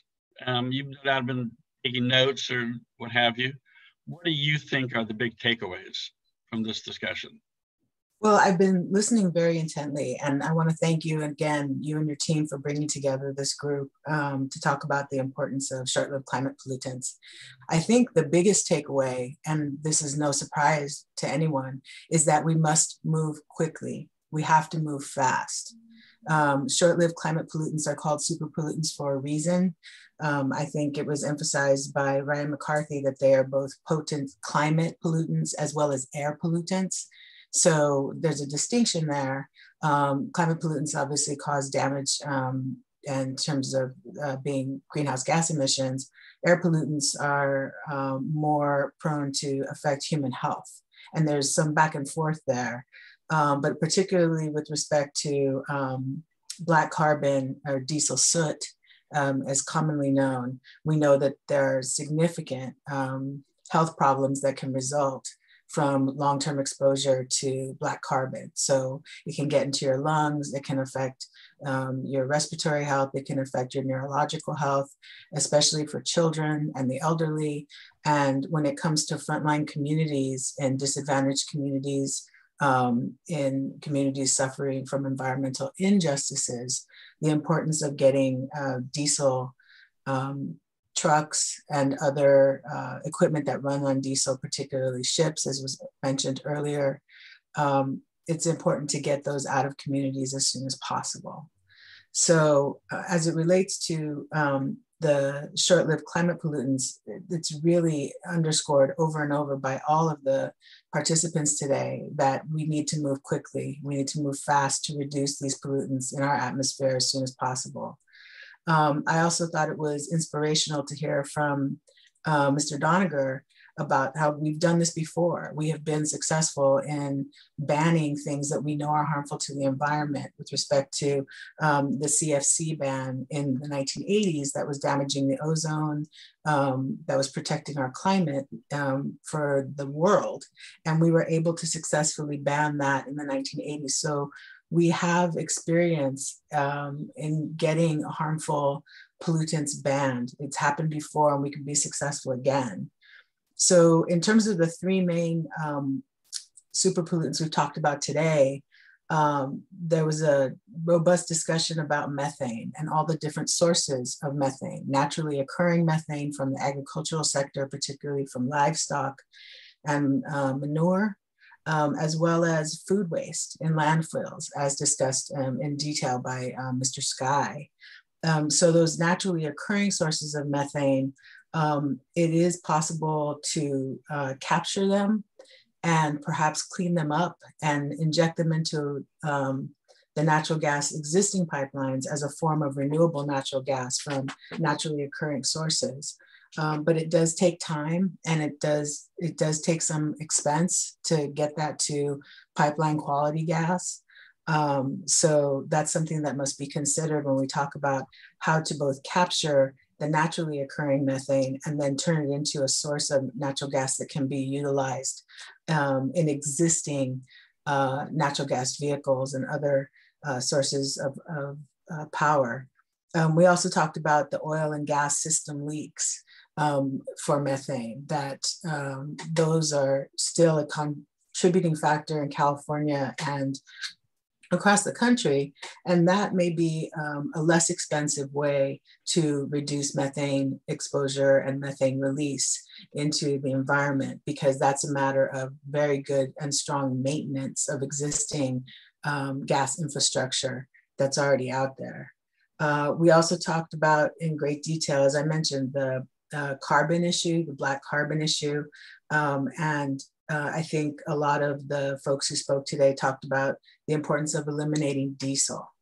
Um, now, how we eliminate diesel, whether we continue on a path where we are utilizing uh, compressed natural gas, renewable natural gas, um, liquefied natural gas in existing um, uh, trucks and other large um, vehicles, buses, and um, garbage trucks, for example, um, that's an open question because there, there are a lot of people who are concerned about continuing to perpetuate um, the natural gas system that is primarily focused on a fossil fuel.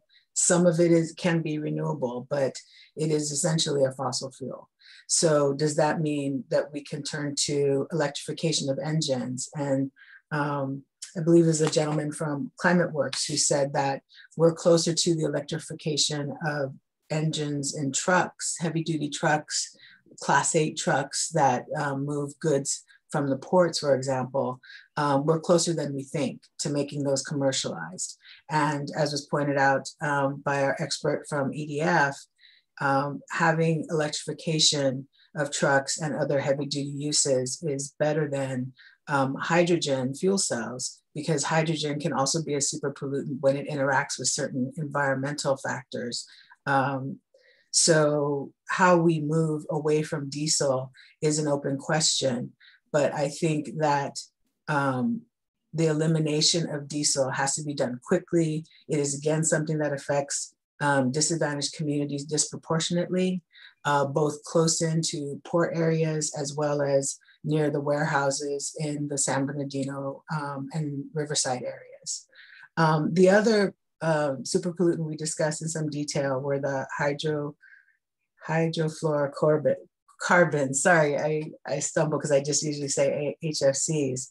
Um, the thing that, that struck me about that discussion is the importance of replacing um, air conditioning um, infrastructure and, and, and, air conditioning refrigerants in buildings. And this circles back to something we didn't get into a lot today, but what people have discussed a lot, which is how do we decarbonize buildings? How do we make buildings healthier so that they're, they're um, they conserve energy and they use cleaner forms of energy, but they're also not polluting.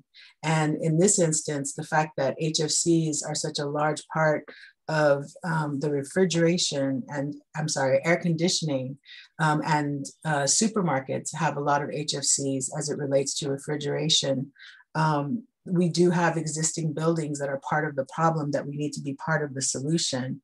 And we discussed um, at least one example uh, Mr. Doniger discussed at least one example from a Chicago case study where they were able to reduce the amount of refrigerants um, used in old commercial buildings by 99.96%, which is extraordinary when you think about um, the kind of damage that the HFCs can do to our climate.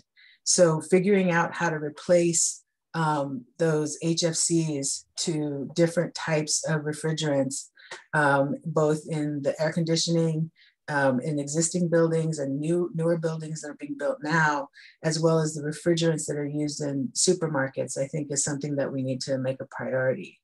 So I think those were the, the major takeaways from today. Um, we are faced with various challenges in terms of reducing the um, short-lived climate pollutants quickly and fast, but we also have a lot of solutions that are out there. And I think that's what was most illuminating today is that those solutions are there. And if we have the resources to bring to bear to all of these different areas, um, there are a lot of ways that we can reduce the super pollutants quickly and make uh, California a more climate safe place to be. Oh, th thank you so much. I, I, I have a couple issues I'd like to discuss with you about it. Although I think one of the things that comes out of this for me is that the variety of activities that need to be engaged in effectively really do lend themselves to an investment strategy. Is having what I keep referring to as a boatload of money, like, like what a California-wide ballot measure might create would really help accelerate all of this activity successfully. And so I come away with it thinking that um, that measure, that idea, that measure is really an imperative, preferably 2022, certainly by 2024. Um, that's one. I have, even if that were to happen, there is a couple of conundrums here I see that I that I haven't yet found an answer to and a lot of it turns around trucking. I mean, obviously, the whole air pollution problem in the South Coast ultimately turns around trucking and getting off diesel, right? And so there's some some faith expressed that battery electric technology can do it, um, and right, but clearly is a question about whether it can do it in a decade you know, can we accelerate that transformation as rapidly as that? Um, and then I think it was Coby who said, we've got alternatives now that are able to um, replace diesel. So if this decade is so important, And, and if we can't be certain that the battery system um, can be done, uh, including all the charging networks, and frankly, it has to be national in nature, right? Because these are long haul trucks. They often don't know from one day to the next where they're going. They pick up in one place and deliver to another. They might get ordered, right? So uh, uh they really need a wide network of charging infrastructure. So it just seems like even if successful, being successful in a decade is a really heavy lift. So why not um, include these other, um, you know, like the RNG alternatives, the near zero, a renewable gas, it's not fossil gas, in the form of hydrogen, like in a fuel cell. Why not that? Second question is, even if all the trucks then went battery electric, what do we do with the methane in landfills, wastewater, and dairies? Now, I can imagine that in landfills and dairies, we can use a lot of it for electric generation, maybe generation on site at the landfill um, and hooked into the, the grid. But is that possible in the dairy system? Wouldn't doing that create, in many ways, just what the folks who live out there don't want? A kind of rolling out of an industrial uh, infrastructure um, um, in in the in the in, in, what should otherwise be pasture land. So there's two conundrums here that it seem to me really revolve around trucking. How quickly can we get it done? And shouldn't we use renewable gas in the interim? And two, even if batteries can be successful, ultimately, what then do we do with the with the biomethane in those sources? We have to deal with those. And so that's what I'm going to wrestle with, with talk over with my friends and stuff, and the, the big conundrum solve going forward, in my view. What do you think? So the issue you raise about the whole, um, it is a conundrum around trucks and how to quickly get rid of the diesel trucks that are predominantly on the road. I mean, we have 16 to 17,000 of them servicing the ports daily.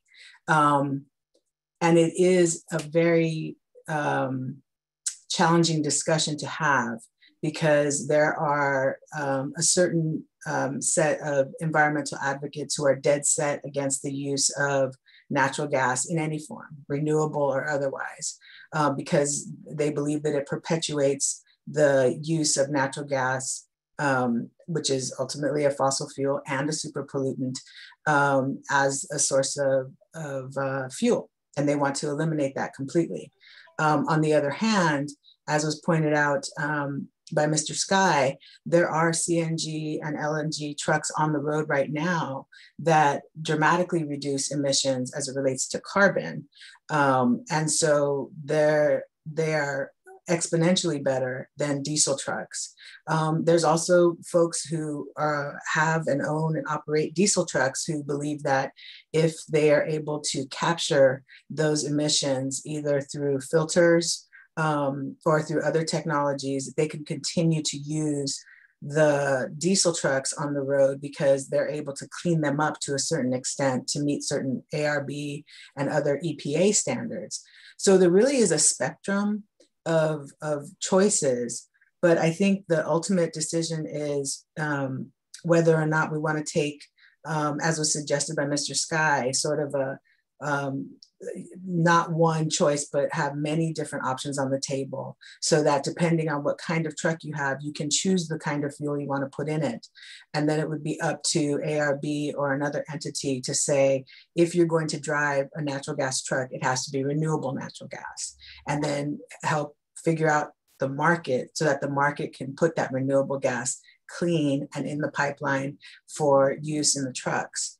Um, that being said, once it is ready, once the technology is ready with respect to batteries, um, and they're able to reach the operational standards that are set forth by the trucking companies, then they can also be part of the market. Um, and there doesn't necessarily need to be a hard choice or a hard and fast choice by a certain date. It could be use what's the cleanest when it becomes available. So, um, so, so that suggestion sounds like let's just imagine we have a measure of, with money that a policy might be um, support all zero emission technologies as they develop, uh, prioritize that. But when there's certain applications, for example, or certain types of vehicles do not yet have that zero emission option, maybe there um, we support uh, the, cleanest available renewable option. Yeah, that that sounds like good language you could put in it right now. I hope we're recording this so you can come back to it. Um, the I should note that just this month there were funds released by ARB for um, people to use to incentivize the purchasing of electric vehicles um, in the commercial market, and the fund the funds were completely uh, subscribed and distributed within a couple of days. So there is an interest, there is a hunger, there is a want for those cleanest available battery operated um, uh, engines in the market. Folks want those clean engines. There, there is a delta between what is a what the costs are for diesel trucks, what the costs are for natural gas trucks, and what the costs are for battery trucks. But I think if given the choice, I think folks do want those cleanest possible trucks to be on the road, um, partly to be part of a larger solution for the state of California and partly for the health of their drivers.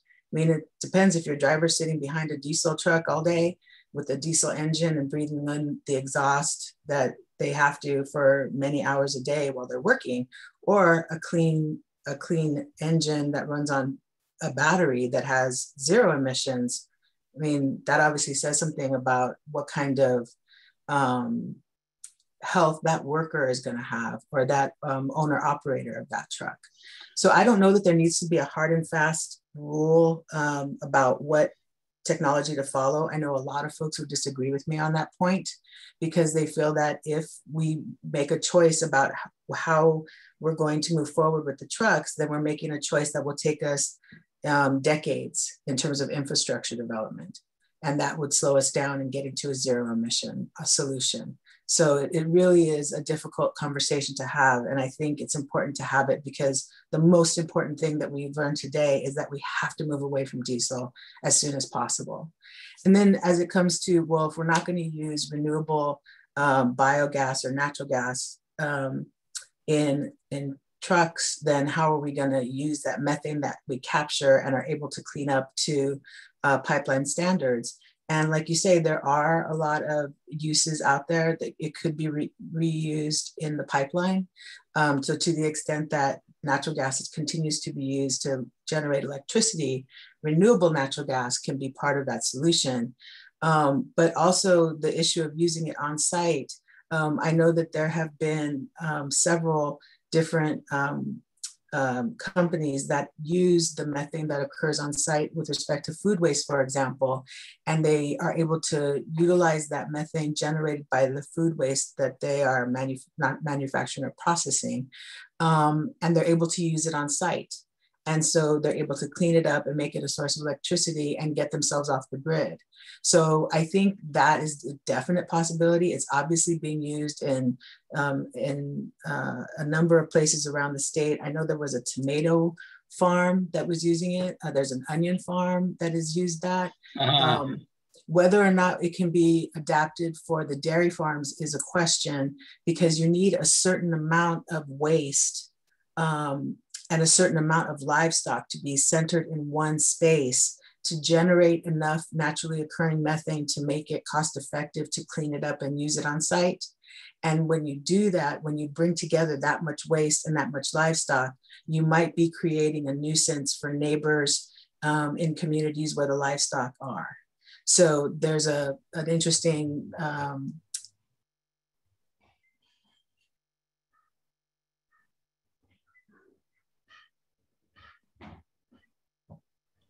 So Jerilyn is frozen, I think. Good. So that must mean we're done. Farm. Uh -huh. it, it could be more than that, but we have to be careful about creating a nuisance of smell and noise and um, depending on if there's a pipeline that goes there, you'd have to truck that methane somewhere and then you're creating another problem. Right. Okay, so Jerilyn, thank you for your observations. Thank you to Climate Center for its partnership. We'll be continuing that partnership in many ways, I'm sure. Um, thank you to our audience for joining us. Um, we th I thought this was very illuminating discussion and sharpened my understanding about what dilemmas are that has to be solved with a boatload of money. Thank you so much. Fortune favors the bold. Bye-bye.